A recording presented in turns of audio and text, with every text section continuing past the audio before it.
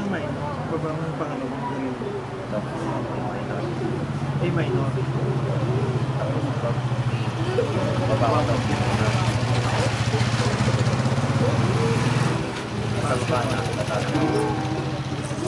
Pag mahal galing siya, tapos yung pangalawang galing. Uy, sa chords. Kita na. Oo. Tapos sa Chapel Father. Pero pabalik na po sa Valencia. F. O. Hindi. F. Minor. Ito naman yun, sabahan natin. Sige.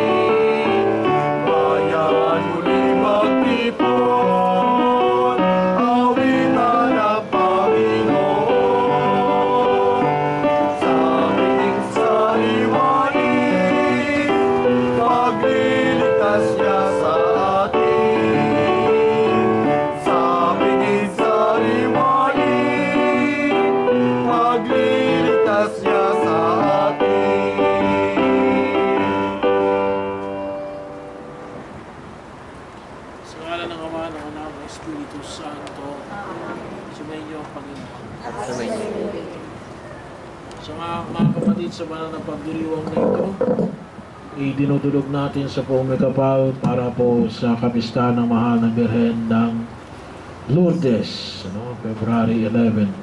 So yung pong misa natin ito ay misa para sa araw na ito. Ano? Hindi po ito misa para sa araw ng bukas. Ano? Hindi po ito anticipated mass. Para po mabigyan natin ng higit ng pagpaparangal ang kapistahan ng mahal na Birhen ng Lourdes. Ah, uh, itinalaga rin naman ang simbahan bilang pandaigdigang araw ng mga may sakit na eh, inilulog natin ang lahat ng mga may sakit at ang lahat ng mga nag-aalaga sa mga may sakit. Katulad ni San Martin na nangalaga sa mga may sakit. Isa sa mga gawain niya ang nangalaga sa mga may sakit. So itulog natin na eh, tayo ay pagalingin ng buong may kapal. At upang maging karapat dapat tayong gumanap, pagsisiyan natin ang ating mga kasalanan mga pagkukulang. Inaamin ko sa makapangyarihang Diyos at sa inyo mga kapatid na lubha akong nagkasala sa isip, salita at sa gawa. Sa aking pagkukulang, kaya sinasama ko sa mahal Birhen Maria, sa lahat ng mga anghel at mga banal, at sa inyo mga kapatid na ako'y panalangin sa Panginoong aming Diyos. Kawaan tayo ng makapangyarihang Diyos, patawarin tayo sa ating mga kasalanan, at patnubayan tayo sa buhay na walang hanggan. Panginoon, kaawaan mo kami. Kristo, kaawaan mo kami. Panginoon, kawan mo kami. Papuri sa Diyos sa kitaas.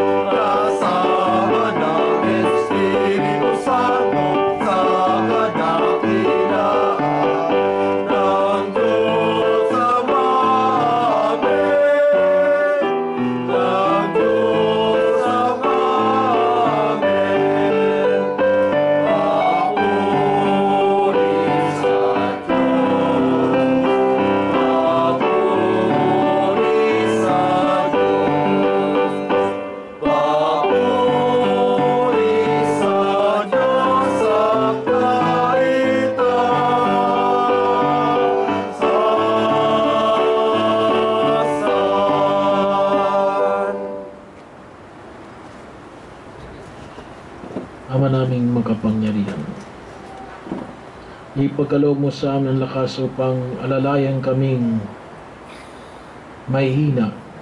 Ngayong ginugunita ang kanisinisang ina ng Diyos. At kami hindi adalangin niya ay makabangon nawa at makalugmok sa kasalanan. Inulog namin ito sa pamagitan ng Yeso Kristo kasama ng Espiritu Santo magpasawalang hanggang.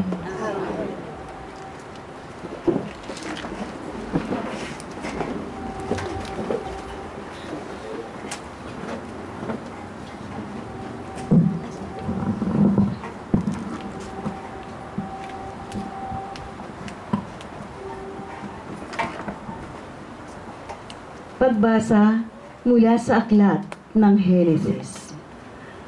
Pagkakain ni Adan sa bunga ng puno, tinawag siya ng Panginoon at tinanong, Saan ka naroon? Natakot po ako nang marinig ko kayong nasa hardin. Nagtago po ako sapagkat ako'y hubad, tugon ng lalaki.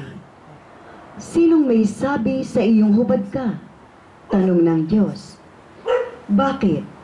Kumain ka ba ng bungang ipinagbabawal ko? Kasi pinakain po ako ng babaeng ibinigay ninyo sa akin, tugon ng lalaki. Bakit mo naman ginawa iyon? Tanong ng Diyos sa babae. Mangyari po lang ako ng ahas. Kaya ako natuksong kumain, tugon naman niya. At sinabi ng Panginoon sa ahas, Sa iyong ginaway may parusang dapat, na tanging ikaw lang iyaong magdaranas. Ikaw ay gagapang ang hatol kong gawad, at alikabok ang pagkain dapat. Kayo ng babae laging mag-aaway, binhimot binhiniyay, laging maglalaban. Ito ang dudurog sa ulo mong iyan, at ang sakong niyay, ikaw ang tutuklaw. Eba, ang itinawag ni Adan sa kanyang asawa, sapagkat ito ang ina ng sangkatauhan. Ang salita ng Diyos.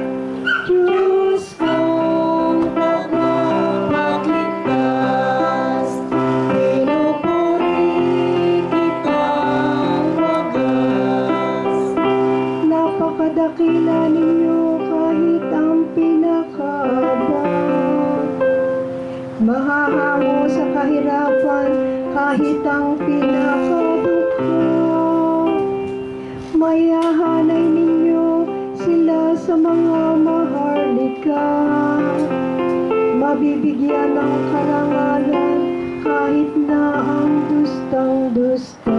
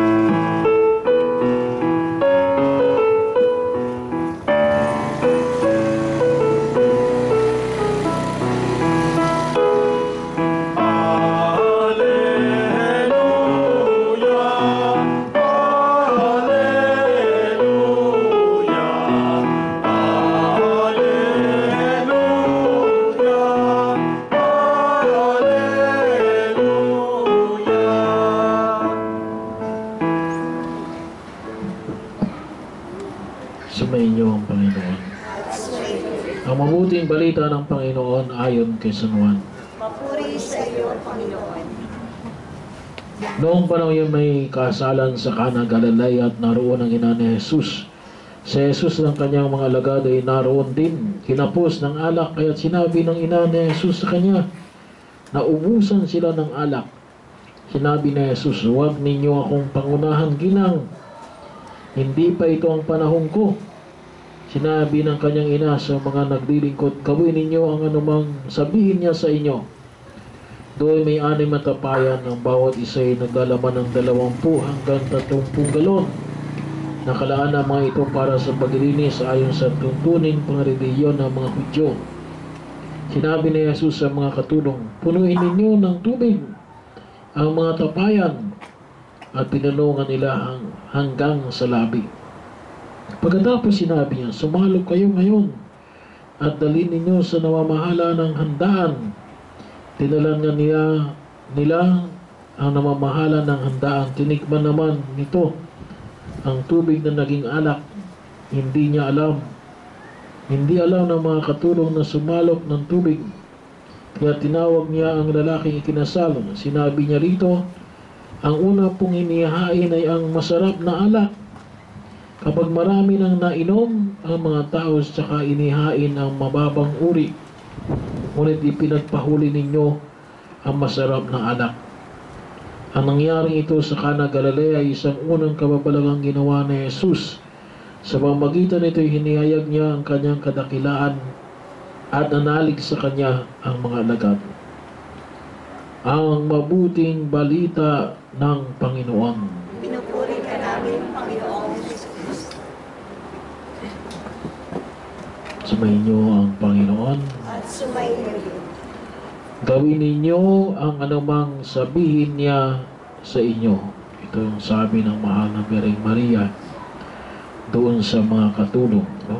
Gawin ninyo ang anumang sabihin niya sa inyo. At ito yung patuloy na umalingaw-ngaw sa atin. No?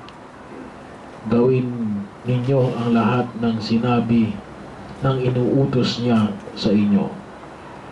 Ito yung, sabi nga natin, ito yung mahal na Birhen Maria.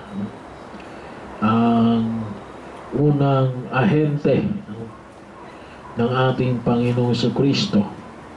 Ang unang disipulo na nga nais na ipakita na yun ang kanyang pamantayan. Gawin ninyo ang anumang sabihin ni Jesus. Kaya bahagi po ng ating paginilay sa araw na ito sa karangal ng mahal na Birhen ng Lourdes. No?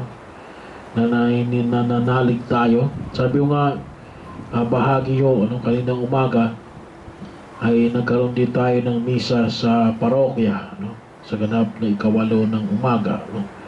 Then ako din po ay nagsimba ano, dito po sa karatig na parokya natin kasi yun ay mahal na berhen ng Lourdes. No? Nagkataon naman na Thanksgiving ng bagong pari, you know, na taga ah, doon sa parokya ng mahal na Birhen ng Lourdes. So sa araw nito, dalawa yung kanilang pagpapasalamat. Pagpapasalamat sa ka- kapistahan ng mahal na Birhen ng Lourdes at pagpapasalamat sa biyaya ng pagkapari. So, sana din po ang San Martin de Porres ano, ay magkaroon din ng pari. ano. So, mayroon tayo ngayon nagpapari. ano. So, ipanalangin natin na nawa ay ah, nawa ay siya rin ay makatugon. No? Si Paulo na makatugon sa panawagan ng buong may kapal. no? Yung panyaya ng mahal na Bireng Maria, gawin ninyo ang lahat ng iniutos niya sa inyo. At maaari nga hong isang pagtawag na pinamamanik sa atin ang bukasyon, ang pagtawag ng bukasyon sa pagpapari. Pero bahagi ho na sa araw na ito ay tinatalaga ng simbahan ah, na ito ay pandaigdigang araw ng mga may sakit. Ay ba't yan ang ginawa ng simbahan na ito ay pandaigdigang araw ng mga may sakit? Kasi po kung kayo nakapunta na ng Lourdes, Francia, ano? Sino na nakapunta sa inyo? Wala pa. Ano? So hindi rin pa rin ako nakakapunta. Ano? So pare-pareho tayo hindi nakakapunta sa Francia. So ito po ay kung tawagin natin, yung mga iba nating mga kapatid na pare kasi nakapunta roon. Ito ay bahagi ito ng tinatawag nilang Marian Pilgrimage. Ano? Ay makita nyo sa sa Lourdes. ano, Lourdes kasi isang lugar ng France. Ano? Ay ito ay maraming tao talaga nagpupunta na humihiling ng kagalingan. No? Yung karating na lugar na ito ay kalimitan ay mga hotel. No? Kasi nagnanais sila na ah, doon sila titigil and then para sila ay makapunta no? doon sa lugar ng ah, pinagpakitaan ng mahal na Birhen kay Bernadette na kuntusin po ay ito rin yung pagkakataon na yung isang bulag ay makakita do sa pamagitan po ng pagpapahid ng tubig na galing doon sa sa bukal ng Lourdes ano, na pinagpakitaan ng mahal na Beren kay Santa Bernadette ano. ay ninanais ng simbahan na tayo rin ay magkaroon ng biyaya ano, bagamat hindi tayo mismo makapupunta roon sa mismong Lourdes ay matanggap din natin yung kagalingan na hinihiling natin para po sa mga may sakit no? na ipinagdarasan natin ngayon sa araw na ito. Kaya itinatalaga. Sabi ko nga po, yung akin ding humiliya kanina, ay nais ko rin pong ibahagi ngayon sa inyo, no? Dalawang bagay. No? Una, yung sinabi nga po ni Maria na gawin ninyong lahat ng ipinag-uutos niya, ano? Ano wag natin kalimutan na anong panyaya na sinabi na Jesus, nais ko gumaling ka. Hindi naman nais ng Diyos na tayo magkasakit. Nais rin ng Diyos na tayo magdumanas ng kagalingan, ng kaayusan, ng kalusugan ng katawan. No? Kaya bahagi rin po na maipamanik natin na, na maipapatuloy nating mapalakas ang ministry ng kalusugan ng simbahan. Ano? Yung ating ministry on health. Bagaman po sabi nga po natin, hindi pa ganoon katibay, lalong-lalo na ho, na ang ating patron ay si San Martin de Porres. Yung nangangalaga sa mga may sakit. Sana po, ay ito yung pagtibayin natin. No? Kaya nga po tuwing Webes din, ay nagdarasal tayo para sa mga may sakit. No? So may mga pagkilos tayo na kinakailangan nating pagpapatuloy. No? Katulad po halimbawa ng yung pong ating pagnanais, no? yung pong ating programa, no? kasi isa rin sa bahagi po ng Ministry on Health, ay yung programa na talagang mawala yung sakit na TB.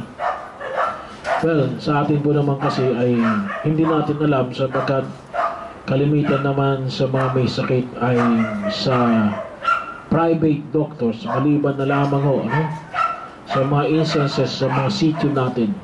Pero sana po kasi yung hamon ng World Health Organization ay mawala yung sakit na TB. Bakit to? Kasi po yung TB ay ito naman ay hindi ka agad mamamatay sa TB. It takes days no, bago ka talagang mamatay at months. Kung tuusin ay madali lamang itong mawala no, kung talagang mabibigyan ng lunas. No. Kaya lamang at ang gobyerno natin kung tutusin ay nagbibigay ng libreng gamot para sa TB. Pero nais ngayon na medyo may may bahagi na kasi nais kasi ng World Health Organization na on year 2021 ay ma-eradicate talaga yung TB. Matagal na po itong binibigyan ng pansin ng gobyerno. Pero ninais niya yun na makipag-ugnayan ng simbahan kasi nga ay medyo may kabagalan. Ano? Yung pagsugpo sa tinatawag po nating sakit na TB. Well, sa parokya ho natin, no, ay may dalawang instance na ako'y nakapagmisa na ang kanyang kamatayan ay gawa ng TB. No? At nagkataon naman na inais doon sa Maharlika. Diyan. No? Diyan ako nakapagmisa ng sakit ng kanyang kinamatay ay TB. So, ayun po yung dalawang instances na kung saan ay ay nakita po natin. Siguro po yung maliit lamang na porsyento pero sa hindi kasi hindi naman po ito kung tuusin deadly. No? Ito yung napabayaan lang. No? Kasi may libreng gamot. No? May bahagi o na kinakailangan ka mag-libre yung ay kung tuusin yung ano yung pagkonsulta no? Yung tinatawag po mapapansin po natin yung yung mga center na kung tawagin ay TB dots. Sa San Pedro po dalawa ang TB dots natin. Yung dito sa bayan at dito po sa sa Nara no? so ito'y bahagi yun na kung saan ay nawa po ay ah, may panalangin natin na talagang mawala. Hindi lang sana sa parokya natin ngunit sa buong San Pedro no? at idalangin natin no? kasi kung hindi nila alam no? kasi ano baga yung simptoma ng TB yung hindi umaalis na abo, na, na ubo. Kung kayo inuubo sa loob na ng dalawang linggo, ah, ay kinakailangan magpa-check up na kayo. No? Pero kaya ko sinasabi ito, hindi lamang para sa inyo, no? ngunit lalong-lalo na po, no? Sana din po magkaroon tayo ng mga coordinators sa ating mga sityo, no? sa Maharlika, sa ah, sa Maniego, at saka dito po sa hillside na para ma-monitor sana na hindi na sana lumala yung mga yung nabanggit na sakit nito ng TB. Isa po yun sa mga programa na binibigyan po natin kapag pinag-usapan natin ang Ministry on Health. no?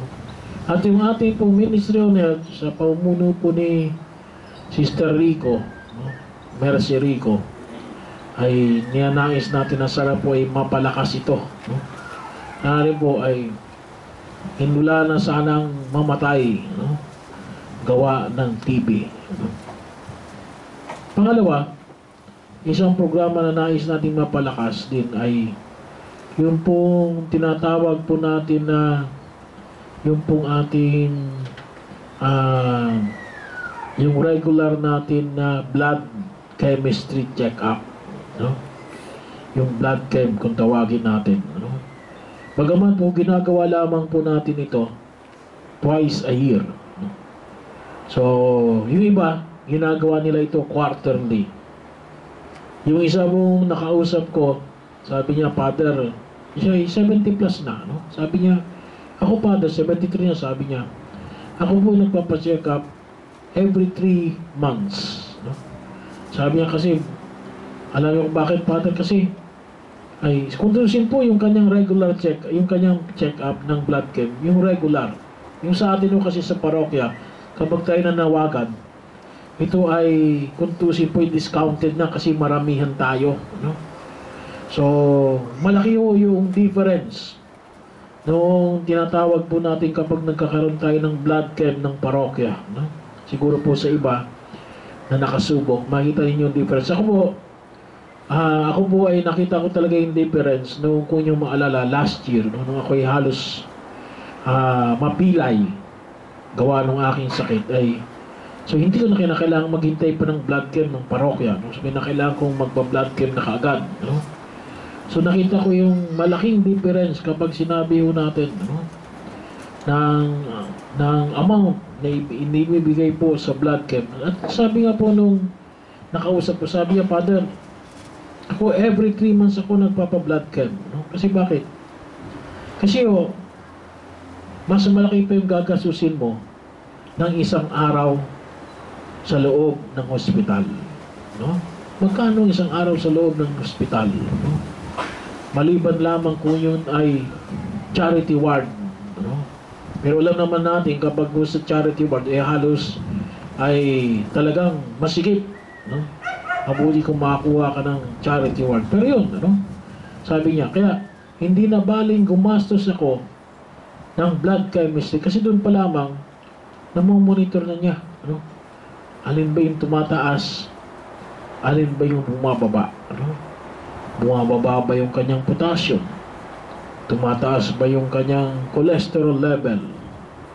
So doon pa lamang ay mabibigyan na kagad ng lunas no? yung kanyang karamdaman na hindi humahantong sa mga pagkakataon na kasi kuminsan o kaya kuminsan ay nahirapan tayo sapagkat hindi natin alam ano, kasi tayo mga Pilipino, hindi tayo sanay na magpa na magpa-check up, ano? Kaya kuminsan ay na, nalalaman na lamang natin ay malubha na, ano? Yung ating karamdaman kasi hindi tayo nasanay na magpa-check up. Pero yun po, ano? Na sana rin po may pamahagi natin yung ganitong klase ng kalaman na malaki na itutulong ng blood chemistry para po ma-monitor natin yung ating kalusugan. Ano? Kasi ayaw nga ng Diyos na tayo ay magkasakit. Eh, pangalagaan din natin yung ating karamdaman, ang ating kalusugan. Pag-ingatan din ng ating katawan. At isa po, lalong-lalo na po yung mga may edad na 40 pataas. Ano? Ay hindi natin may alis. Ano? Yan po ay bahagi na po ng AIDS, sabi ng mga doktor, na talagang ah, bahagi na ng pagkilos na tayo ay may mga manaroon ng mararamdaman. No? Kasi yung AIDS na yan ay talagang bahagi na ng buhay ng tao. Na yun ay yung paraan na kung saan ay humihina na yung ating yung lakas ng ating cell. Pero yun, no? Kaya po, maaaring siguro sabi ng iba, ay maliit na bagay lamang po yung blood chemistry. No? Pero malaki po yung may tutulong yan. No? Kung talagang may nais natin i-maintain. Kaya po, ay kapag siguro nag-announce tayo ng mga blood chemistry, ano? ay maging bahagi rin yun na kung saan ay, ay yun ay para naman sa sarili natin, yun, para sa ating kalusugan yun. Kaya bahagi yun na kung saan ay ay ay maipatingnan din natin yung ating kalusugan. At yun po yung ginagawa lamang natin, sabi nga natin, ay twice a year. No?